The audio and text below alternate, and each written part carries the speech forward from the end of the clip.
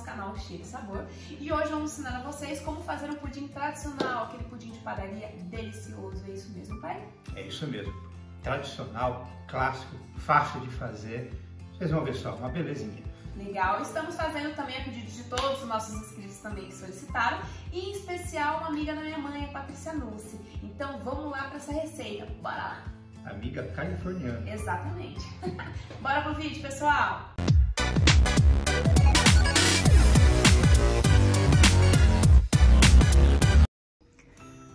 Pai, quais são os ingredientes necessários para fazer esse pudim delicioso? Tá bom, olha só. É simples mesmo, olha só. São 500 ml, né, meio litro de leite né, integral, 500 gramas de açúcar refinado, meia colher de sopa de margarina, 3 ovos, 6 colheres de sopa de farinha de trigo.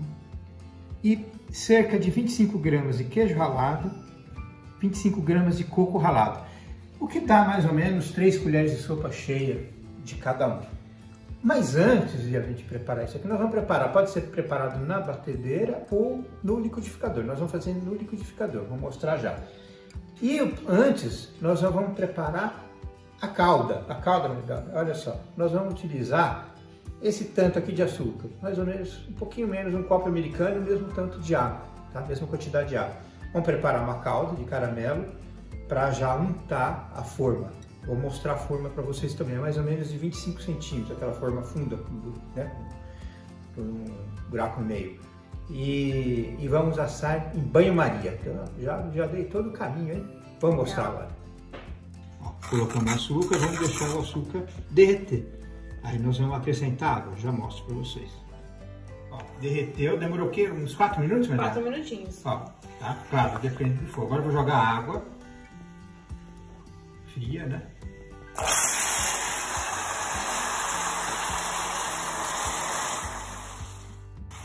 Ó, é, uma coisa, viu, Ricardo? Um detalhe. Desde o açúcar lá, quando tava só açúcar, sempre mexendo, tá? Sempre mexendo, o tempo todo. Colocou água, sempre mexendo, né? Pra não formar aqueles...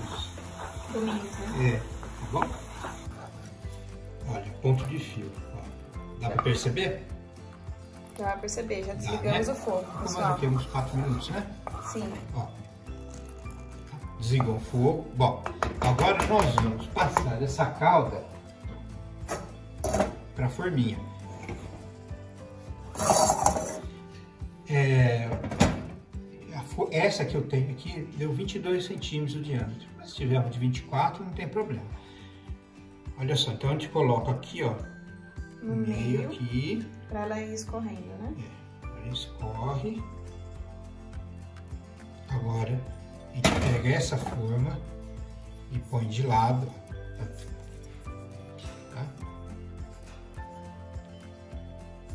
Uma untada, né? É. E nós já vamos colocar numa assadeira com água, com água fria, tá? E ela vai ficar esfriando para depois a gente colocar a massa do pudim. Tá bom? Tá untado, tá? O auxílio de um pano, né? Para não queimar a mão. Agora vamos colocar aqui na água já. Depois a gente vai vir com a massa aqui já vamos mostrar. Colocar no liquidificador primeiro os três ovos e a meia colher de sopa de margarina. Vamos bater rapidinho.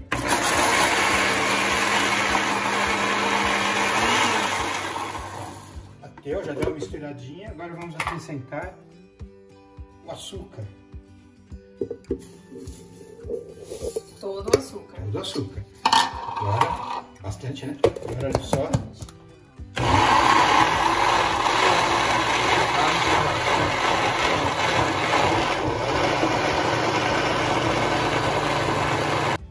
Depois de batido. Bateu, agora vamos montar o leite. É tudo rapidinho, viu? Montar o leite e, as, e a farinha de trigo. Tá? Se eventualmente ficar misturar bem, você pode ajudar com uma colher de sopa.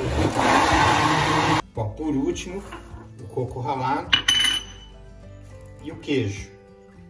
É uma leve batida, mesmo que já está tudo homogêneo, uma leve batida que é justamente para não sumir né? o queijo e o coco. A gente vem no centro, tá vendo? Ó. Uau!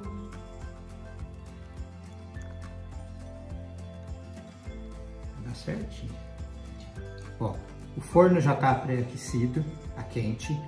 Nós vamos então assar esse pudim em banho-maria por cerca de entre uma hora, uma hora e quinze. Depende do forno, tá? É, na hora que estiver pronto, a gente mostra o ponto dele. Para o pudim ficar mais clarinho, o ideal é colocar um papel alumínio cobrindo aqui, tá? Só cobrindo, sem encostar na água. Sem encostar na água, porque a água vai subir aqui, vai ferver. Né? Só assim, tá? Ó, pessoal, ficou uma hora e dez minutinhos. Aí a gente tirou o alumínio. Aí deixou mais 10 minutinhos pra saber como que se ele está bom ou não. Aí enfia.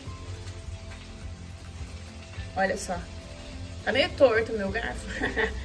Mas dá pra ver o ponto, ó. Lisinho, tá bom? Vou mostrar pra vocês como que ficou. Bom, pessoal, a gente tirou agora da geladeira, né? Só relembrando que na geladeira ficou 6 horas, é o ideal.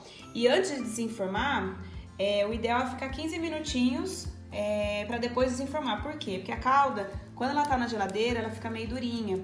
Aí a gente dá uma chacoalhadinha nela, espera os 15 minutinhos para depois desenformar. Aí a gente vai mostrar aqui agora. Vira. Vamos lá. Dando mais uma chacoalhadinha.